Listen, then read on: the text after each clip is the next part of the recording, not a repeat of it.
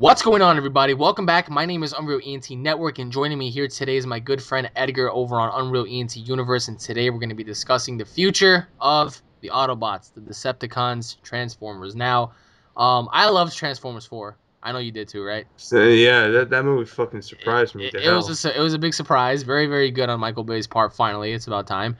Um, so what I wanted to talk to you today about is the direction of Transformers in terms of video games and the direction in Transformers in terms of movies. Um, the video games to me, uh, they were never really appealing. I always thought that they were kind of mediocre. Why you God, you are a little really. I what- didn't play. what- I didn't what- play. I didn't play War on Cybertron. Um, Oh my God, you are literally missing out one of the am I great. really? Yeah, you are. Okay. Fall of Cybertron and, and War of Cybertron is literally the best Transformer best Transformer games. Period. Okay. You could create your own Transformer. Oh, okay. Oh, fuck that. Hell yeah, then. Uh, It's just in your own multiplayer, and you in Fall of Cybertron, you could create your own Grimlock. that is awesome.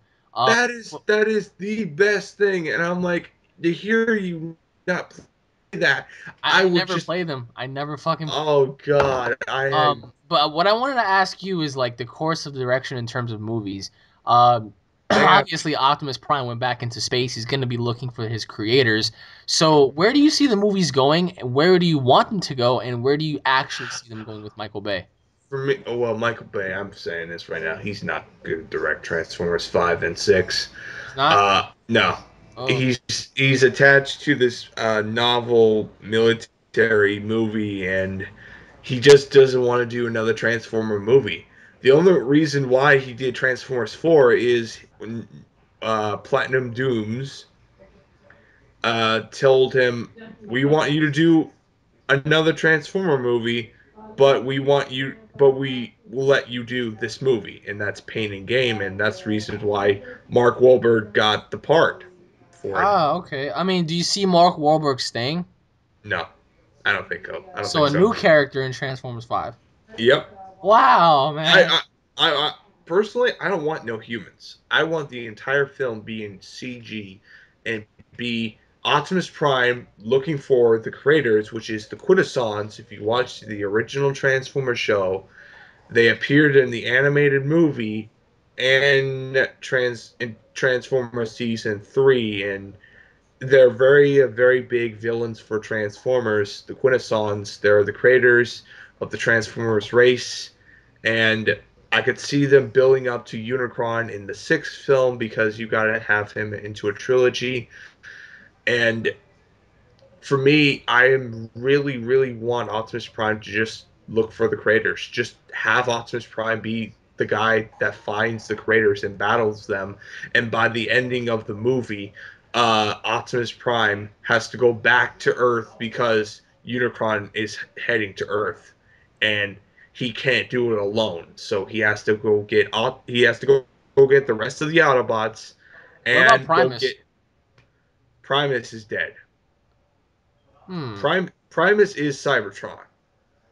And look what happened to his look, look what happened in Transformers Dark of the Moon. Oh, God, yeah. So he's out of commission. So you have to go fight Unicron on its own. The only way you could stop Unicron is the Matrix of Leadership. And How, I do, you really- think, do you think Unicron is more powerful than the creators? uh yeah. Okay, that's that's a plot twister. Um, but do you think he'll be utilized correctly? And because you I know, hope like, so. I hope so. But whoever directs the next Transformer movie, please, please have it the star of the Transformers, because Steven Spielberg, who's the producer, is the who was the producer of all these films, said he no the the Transformer movies have to star the humans because no one can relate to no one can't relate to who. no one can relate to robots, Well, and that's just literally bullshit. But whatever, I digress. I mean, I, I think you can relate to Optimus Prime because like he's a Mhm. leader. He's Mhm. very noble. He's very courageous. You know, like shit like that. You know, like sometimes people can be related to like video game characters. You know.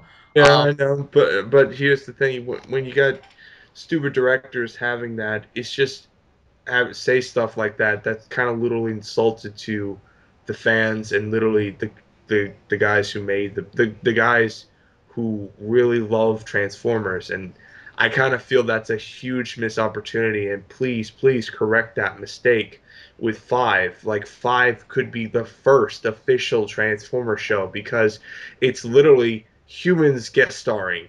Trans humans star humans human formers guest starring the Transformers. But like, what about a possible reboot for the entire could, franchise? That that could work too because a reboot can actually really do justice, and I, I I'm okay with a reboot because a reboot could actually work, and someone could be very passionate about the Transformer series and decide to say I want to do something very different. I want to have something unique and interesting storytelling hell, you could do an entire trilogy of fall of, the War for Cybertron battles. You can do an entire tr- trilogy of that and have the third film end it off with them heading to Earth. I, I, I think that they ought to utilize Megatron more if they did a reboot. Um, yeah, Megatron, he's he's a bitch in these movies. He's literally yeah, he a is a bitch because he got duped by the he, he, he tried to go try he tried to get the the cube failed he was a bitch to the the fallen. He was uh, especially a bitch to Zeta uh, Sentinel Prime, and it's just, I just like where if you watch if you play Transformers War for Cybertron, you know Megatron. You feel his anger. You know who he is, and he will not be a bitch to someone. Not be a bitch because to someone that for their own game. Like he will fight back. Like, hey, I'm in charge. You stand back. You don't. You don't fuck me. I will fuck your day up. Exactly, and that that's how Megatron was. I felt like that's how um, Galvatron was in this film, don't you think? Yeah. I mean, I, except for the ending, he was the biggest bitch in the end because he ran away. But um, I felt like when he was fighting Optimus, that was awesome because like Optimus yeah. felt his presence and he was like, "You have no soul," and fucking Galvatron grabbed him by the neck, and he was like, "That that's what makes me like what does he say like that that's what makes me more powerful or something like that," and he fucking kicked yeah. Optimus. Like I was like, "What the hell?" That was awesome. And then even when he was telling the other Autobots, he was like, "That's no that's no ordinary Decepticon." Whatever he said that that I felt the presence of Megatron yeah. in that in that robot's body, and because it was Megatron reincarnated, but even at that at the very end, I didn't think they utilized him very well because like he kind of ran away. It's like it, it was just literally the vil. He, it wasn't his part. They were just saving him for future sequels. But so, do you think me, that he might attack in the next movie? No, I, I don't know. I don't know.